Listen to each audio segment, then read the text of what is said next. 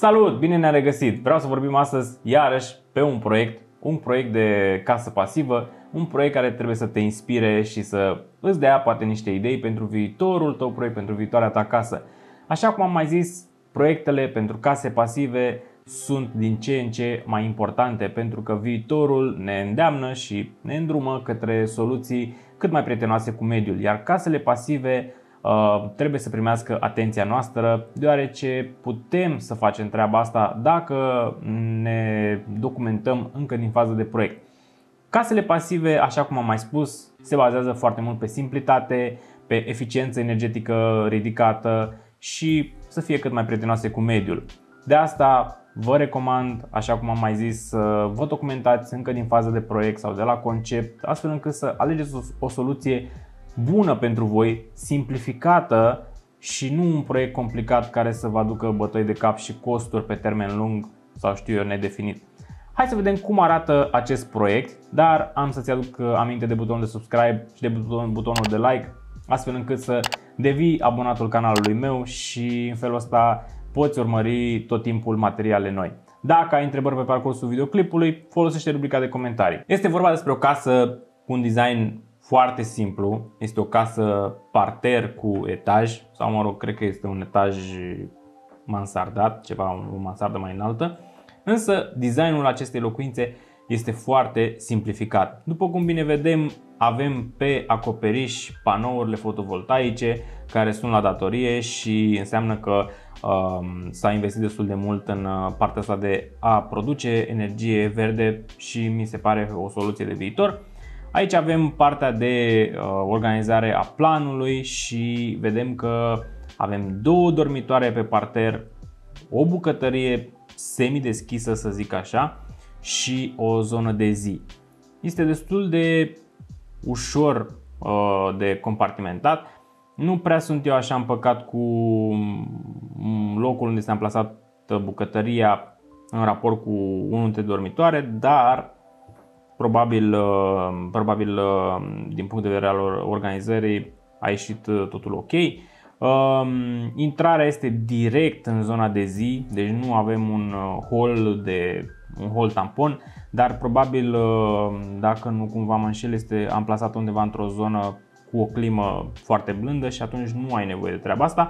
Însă dacă amplasamentul unei astfel de case ar fi într-o zonă cu, nu știu, o climă mai, uh, mai rece, eu vă recomand să luați în calcul uh, un hol, de, un hol tampon, un spațiu tampon, un windfang, astfel încât să filtrați momentul în care intrați în sezonul rece uh, direct de afară.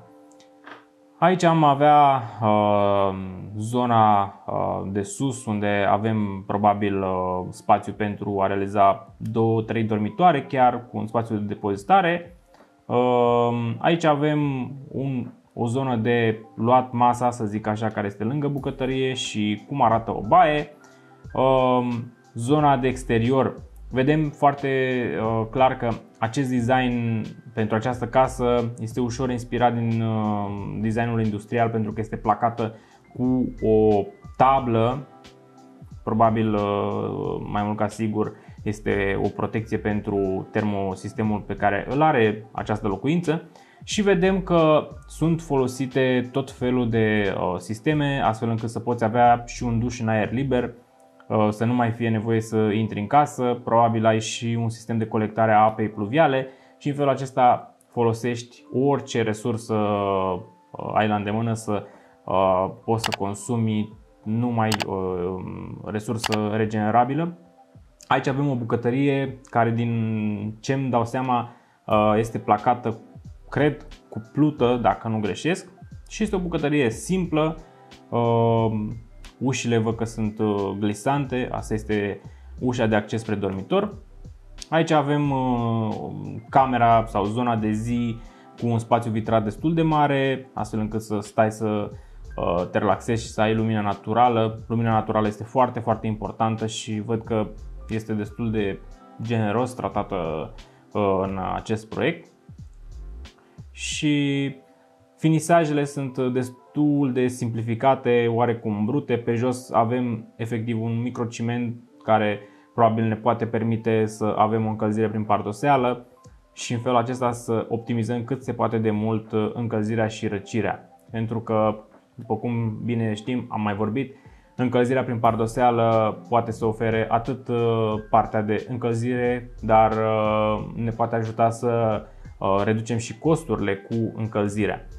Spunem ce părere ai despre acest proiect. Ți se pare un proiect greu, un proiect simplu, designul ăsta mai simplificat, ți se pare ceva nou sau nu știu, cauți să-ți faci un proiect și aveai o altă viziune. Așa cum am zis, proiectele pentru locuințele pasive sunt simple și designul lor din punct de vedere al formei geometrice este unul simplu, însă ea poate fi foarte, foarte mult uh, customizabilă prin detalii. Așa că nu-ți face probleme pentru că o casă pasivă poate avea personalitatea dorită fără niciun fel de problemă. Dacă ți-a plăcut acest videoclip, apasă butonul de like și dacă ai întrebări, pune-le în comentarii și dacă încă nu te-ai abonat, apasă butonul de subscribe chiar acum. Apasă și clopoțelul dacă vrei să fii notificat și dacă vrei să devii membru al canalului meu, ai mai jos butonul de join sau de alătură-te și în felul acesta vei primi în avans videoclipuri și alte beneficii pe care membrii le au. Până data viitoare, te salut și spor la treabă!